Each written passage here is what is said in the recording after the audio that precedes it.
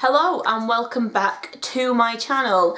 Now I don't know what order anybody has watched these videos in and if you are watching them when the other videos have gone out yet. I feel like I'm going to be saying the same thing in all of my introductions um, but firstly because I'm going to be saying it in all of them so if this is for whatever reason the fourth time you've watched this I'm really sorry.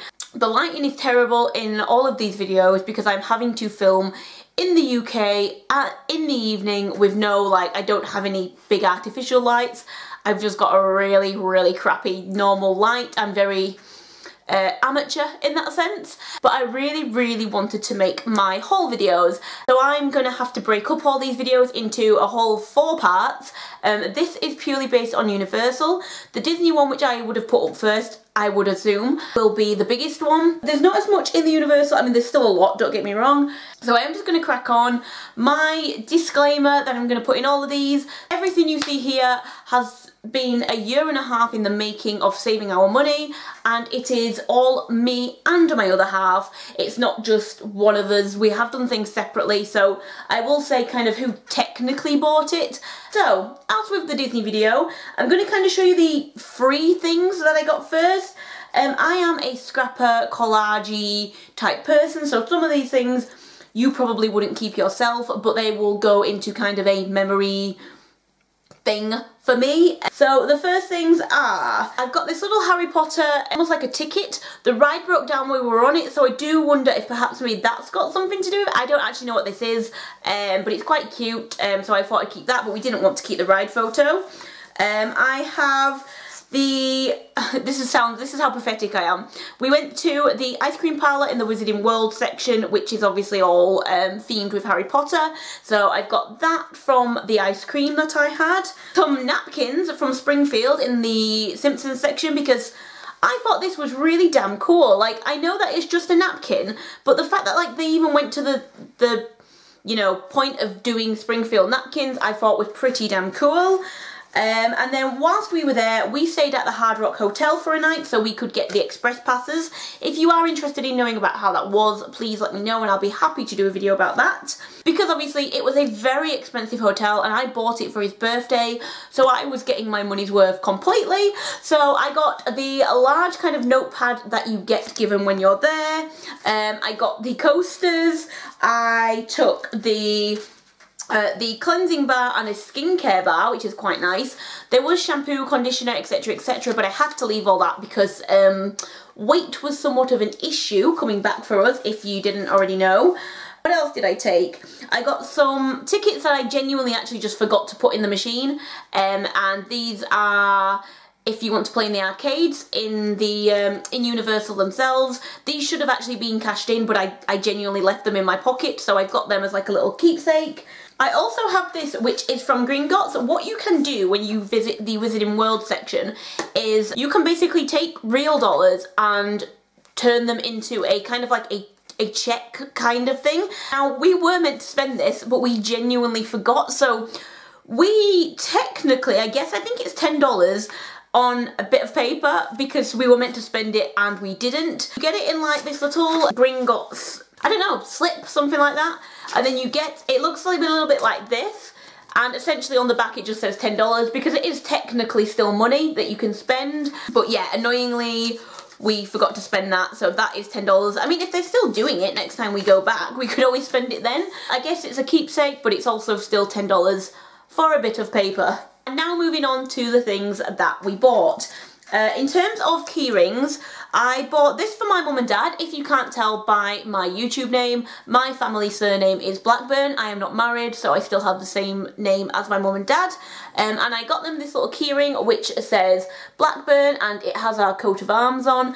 I don't know exactly if this is our coat of arms. It's very Coat of arms are very strange and you can get quite a few different ones but they like this kind of thing so I thought they could maybe put it on like their back door keys or something like that.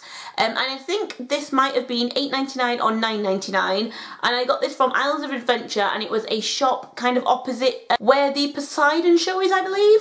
I also picked up uh, this Universal Studios keyring. It is uh, like a gold plated one and it has the universal globe but it is just a flat globe. You could get um, the actual globe, but I, I didn't really want it. It looked a little bit like, it was like made out of rubber, So I feel like if I was to put that on my keys, it would get very dirty, it'd get very worn. I just thought this one was much nicer and it almost looks like it's kind of painted on there. And this was $9.95. Then the last keyring I got if I hadn't have got this as a keyring, I would have wanted it as a teddy, and I know deep down I could probably get one in the UK in terms of a teddy, and I didn't need any more plushes, as you will soon see. I picked up this. I think this is so cute. This is my own little pygmy puff. I've not given it a name like a lot of people tend to do. This was $10.95. Don't think I'll use it as a keyring, again purely because of it getting dirty, but it will definitely probably be out on display on my um, dressing table or something like that. The one thing that Universal doesn't have that Disney have is some form of object that kind of keeps everything in one place. The Disney World Magic Band is a godsend for that. Like you literally just have to keep scanning your Magic Band and you're good to go. Now when it comes to Universal it is based on a ticket uh, or a card.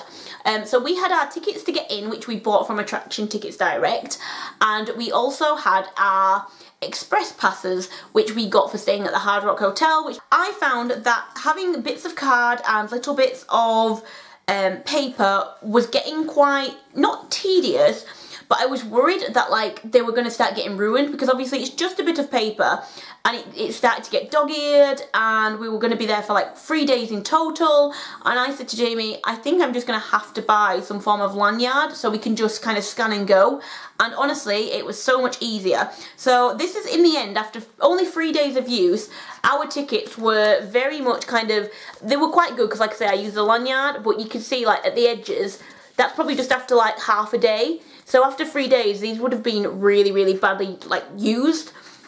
So they were our tickets and then we also got our express passes. I don't think any kind of codes or barcodes would matter now anyway. Um, but I had the Incredible Hulk one and Jamie had a Harry Potter one. You don't get to pick these, it's just what they give you. And then in the corner is just the hotel you're staying at. So they just know that um, that is your express pass, um, that you are kind of linked to it. And then for them to go into, I bought a Simpsons lanyard, which I think this is so cool. Um, there was loads and loads of lanyards to pick from, but I am a massive Simpsons fan, as you will see during this haul. It comes with the lanyard, and then you also get this little wallet at the bottom, which you don't get on a lot of Disney ones, and it just says Universal Studios pin trading, but I got this purely for our passes.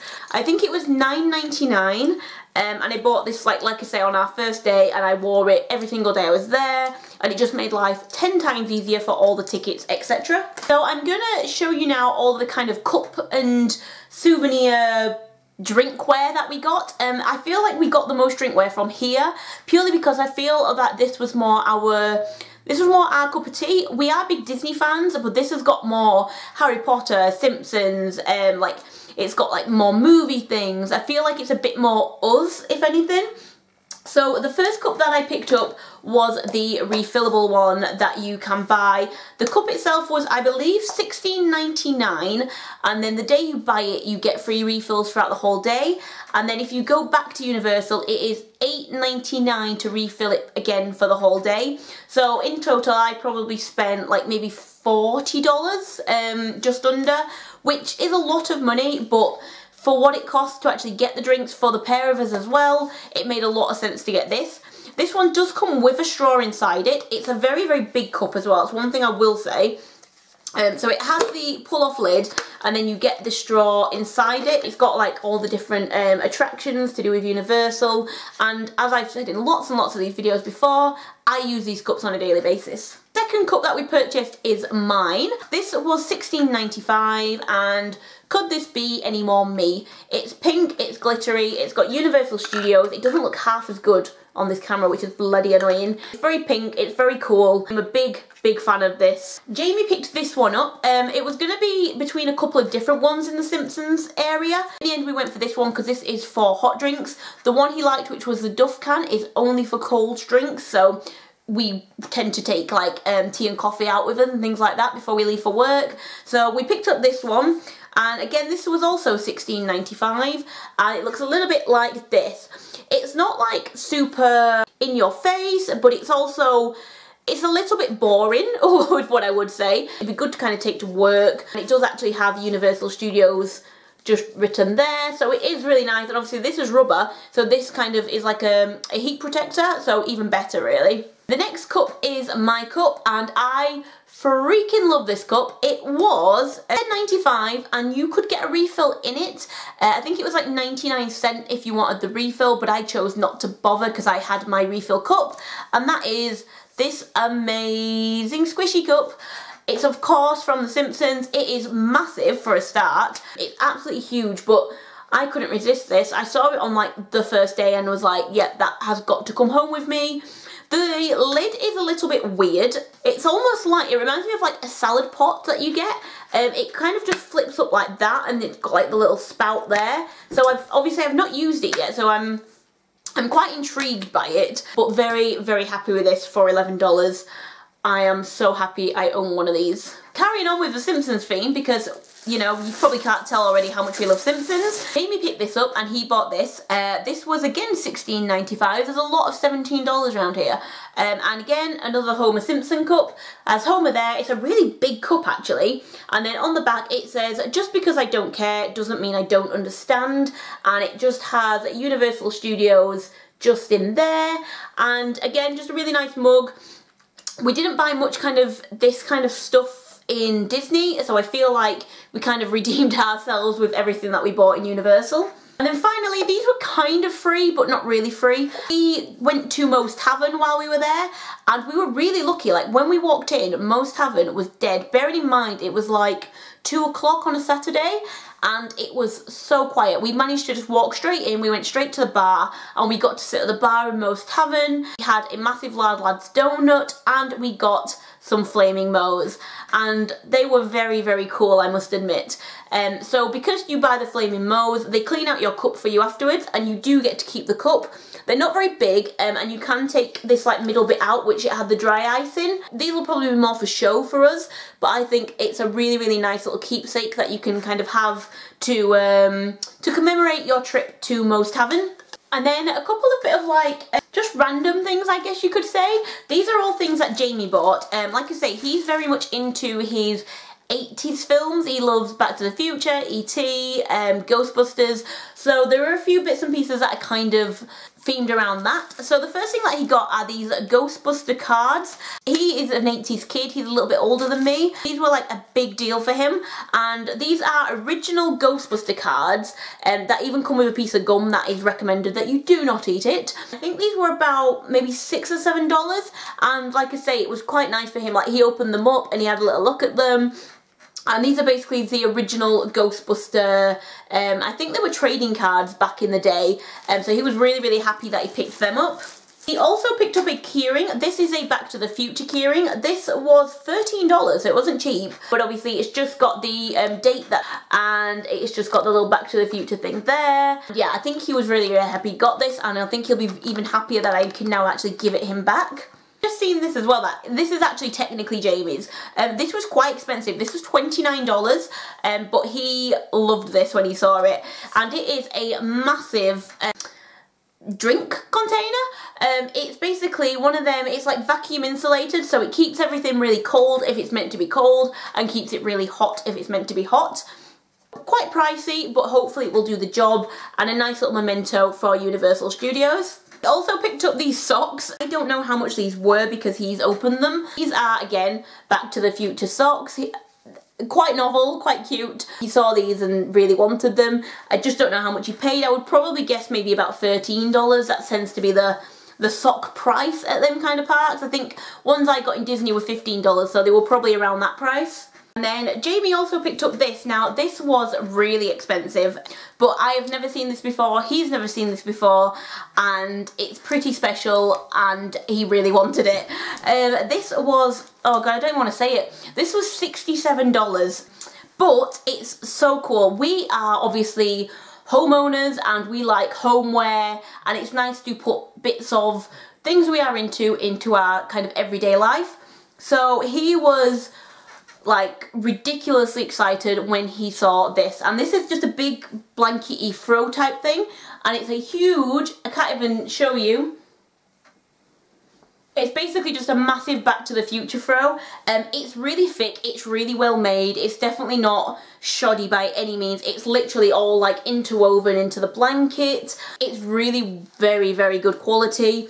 He has got this over like the sofa that he's got in like his like man cave room and it is so nice. Like, um, it's also really, really big, hence why I can't show it you all in the uh, frame. So yeah, very expensive, but definitely one of his best purchases, I think, on this trip. And it's one of the things where he really, really likes it, so that makes me happy. Last thing that he bought from Universal, like in like the, the bigger scheme of things, was he got, can you believe it, an interactive wand. This was one of the few things that I knew I didn't want from um, our trip. I knew that they were expensive and I knew that everybody gets sucked into buying one and I didn't want to for that reason. So naturally, my boyfriend did, um, which I didn't mind. Like obviously he knew what he wanted to buy. He picked his own wand I can't even remember now what it, which one it was. How bad is that? It was Hawthorn. We read all the descriptions of like the like personalised ones. I think Hawthorn definitely described him best and then after reading it he kind of agreed. So it comes in the Ollivanders box and it's not like the most fanciest wand in the world but you know it has like the little interactive tip and it's just it's just an interactive wand with you get the map as well this was really expensive. It was about $50. They all are about $50. He was very, very happy that he bought one. And obviously if we ever go back, we can use it again. And it's a nice little keepsake. It's just a very, very expensive one. The next thing I picked up was from Simpsons. Everything is pretty much Simpsons now anyway. Um, and I thought this was so cool. This was $14.95 and I can't wait to get this out on display. And it is a photo frame which says, Visit Krustyland, the crustiest place on earth. And I think that is so, so cool. It's made out of like a rubbery material. It's nothing like fancy, but that is very much my cup of tea. I can't wait to have that out and I'll probably have a photo of us at Universal in it. We also picked up a blanket. We are big fans of blankets. Our dog who is here also loves a good blanket. So if you spent over $35, I believe it was, you got this for 15 and it's just a blue blanket that has Universal Studios written all over it. It's nothing, we thought it's to have the big globe on it, but it didn't. It does just say Universal Studios, like, continuously throughout it, but it's very fluffy, it's very big. It'd be great for kind of like a sofa blanket. We are happy that we got this in the end, but it's not quite the design we wanted. We didn't get a blanket from Disney, so this is quite a nice one to have from the trip. Seen this as well. Uh, I got a pumpkin juice from the Harry Potter section while we were there, so I did keep the bottle so I can put it on our novelty shelf in the kitchen where we tend to put things like this. It was quite expensive, I think it was about six or seven dollars, but you know, you do it once, you keep the bottle and then you don't need to have one again as far as I'm concerned. But I do think that the bottle is really, really sweet. I like this little pumpkin as well on top. Lastly, you are going to see some plushes now. We had a little rule on this holiday, I especially had a rule that I wasn't bothered about getting many plushes. I did buy Pegasus, wherever he is, there he is, because he's adorable, but we didn't care about having them. And then we walked into the Simpsons land and they have carnival style games and if there's one thing me and Jamie really love, it is a carnival game. Um, and some of them were easy to win, some of them weren't. So the ones that were easy to win we won teddies for it and being big Simpsons fans they were quite cool. Now the first one I wasn't bothered about so I'm going to show it you anyway. Um, but Jamie wanted this one. So the first one is a Sideshow Bob. The only good thing about it is this hair is really, really cool. It's really well done. Um, and it's just literally just a Sideshow Bob plush. Very, very cool. The next one, Jamie won because he wanted it for the dogs. Um, and that is a big donut and it just has The Simpsons written on the back. You can buy all of these things in the shops. Um, I'm guessing that perhaps maybe these are ones that didn't make the cut or something and that's why they can give them away at carnivals. Um, not too sure, but that's the donut. We also won a Duff beer can. That one is quite cool, I will give him that. And then the one that I won, which was the one that I wanted to get, um, is this TV. And this has Itchy and Scratchy on it. I'm a big fan of Itchy and Scratchy in The Simpsons, and I really like the fact that like it's in the TV, and it just has Universal Studios on the back of it. and I'm so happy I got this one. This is the only one I wanted. All the others Jamie wanted to get, so I would have been happy with just this one. And you could win this one on a game that was really easy to win, so that was a, an added bonus. All the other ones, however, um, how we got all these back, I'll never know. Like, this is ridiculous. Four massive plushes, so we did quite well in getting them back in the end. That's it, that's everything that I picked up in Universal, or that we picked up in Universal, should I say. Um, if you did like this video, give it a thumbs up.